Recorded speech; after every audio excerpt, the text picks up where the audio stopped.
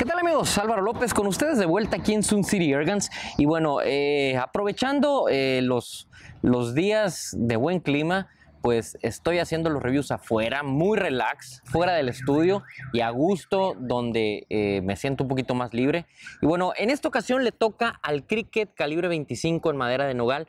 Si bien ya tengo yo un video, pero es muy viejo del Cricket 25, un video de hace unos 5 o 6 años tal vez, bueno, me dieron ganas de hacer otro review, otra revisión, eh, mostrarles a ustedes los tiros y los números de vuelta, actualizando un poquito uno de los rifles más conocidos en rifles de alta calidad, de alta gama.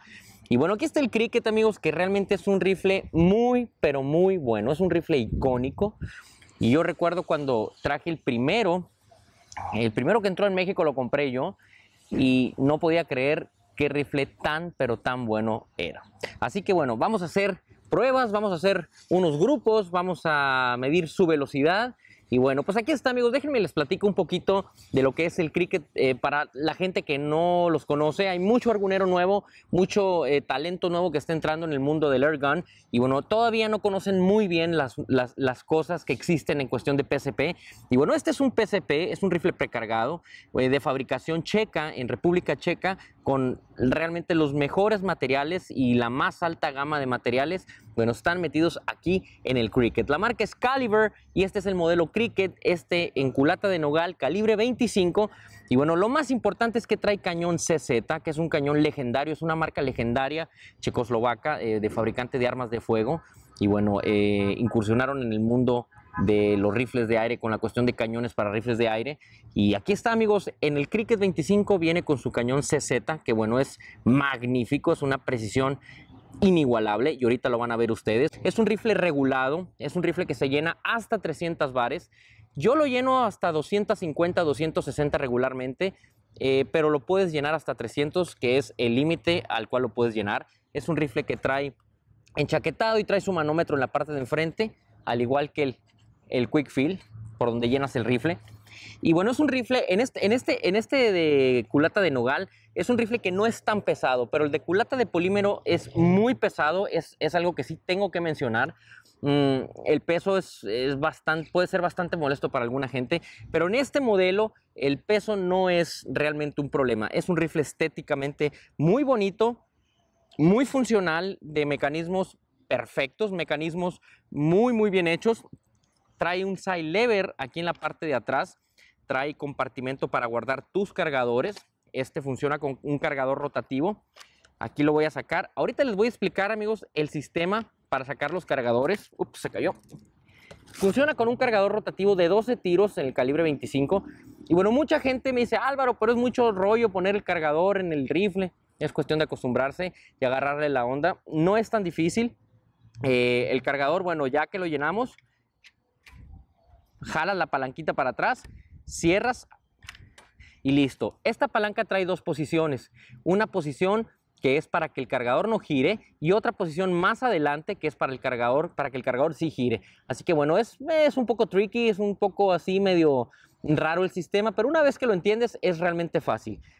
Esta versión trae seguro, lo trae aquí en esta parte, ya trae seguro, lo cual lo hace muy muy bueno porque el cricket no traía seguro y a mí los rifles de posta siempre me han gustado que traigan seguro. Bueno, este lo trae aquí, es una pequeña arandelita así de plástico que se mueve y bueno, estamos accionando el, seguro. el cañón de 24 pulgadas, como lo mencioné, el gatillo es magnífico. Aún siendo un rifle eh, bullpup con, con eh, trae su link, su, varilla de, de ensamble hacia el bridge, que es en la parte de atrás, Aún así, el gatillo es buenísimo, me encanta, es ajustable y bueno, muy bonito, trae su cachetera eh, de madera que se quita y se pone. Eh, es en la versión eh, de nogal, en la versión de, polímero ya también ya la trae. trae riel weaver en la parte de arriba para poner tu mira o accesorio. Y bueno, es, es un rifle bastante bueno, muy preciso, muy encarable. Así que, bueno, yo creo que todos ustedes lo que quieren es verlo en acción. Y bueno, ¿qué les parece si vamos a hacer unos tiros? Eh, vamos a echar unos tiritos a 52 metros según me vi en el review pasado. Son 52 metros. Vamos a poner nuestra diana. Vamos a hacer unos tiros. Vamos a descargar un cargador completito en la diana a ver cómo nos va. No traigo muy buena mira para hacer grupos. Esto es una mira a EON 2.5 por 10 por 56. así que nomás traigo 10 de aumento, que es la que uso para cacería.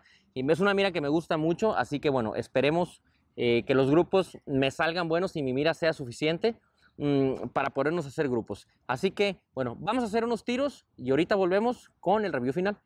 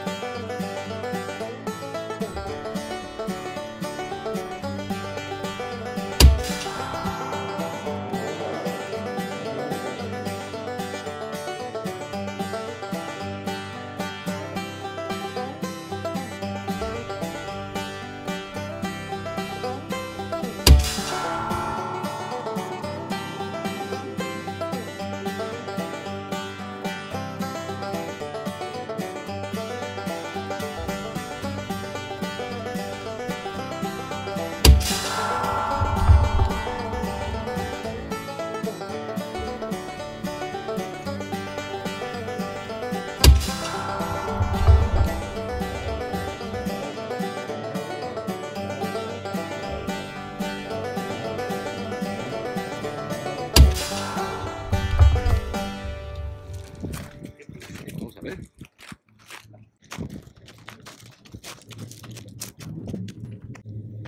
Vamos a apagar nuestra cámara.